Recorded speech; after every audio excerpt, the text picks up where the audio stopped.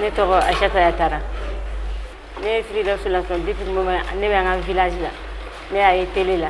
a yɔrɔ diyara n ye o de kama ne fana nana Firidɔsi la. olu bɛ formation kɛ a télé Firidɔsi bɛ formation kɛ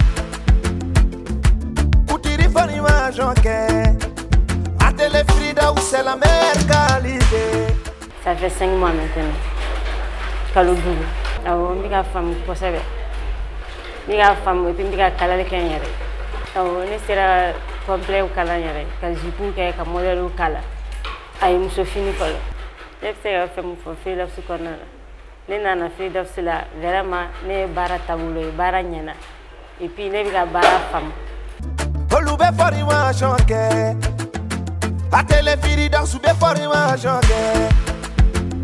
ne n'an ka misɛn cɛ an bɛ an ka baara taabolo ka ɲi. mise bɛ fɛnw expliqué ne ye ne b'a faamu et puis a ka explication ka ɲi ne ye lafiya min sɔrɔ ne bɛ se ka baara in kɛ n yɛrɛ ma et puis ni n y'a yira mise la mise b'a a yira ne la a tɛ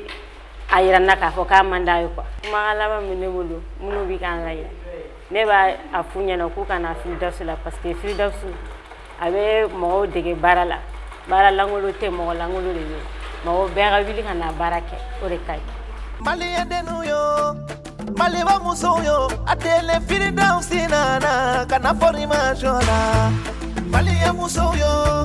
mali ba muso yo atele firidaw sinana kana formation la mali yedenu yo mali ba muso yo atele firidaw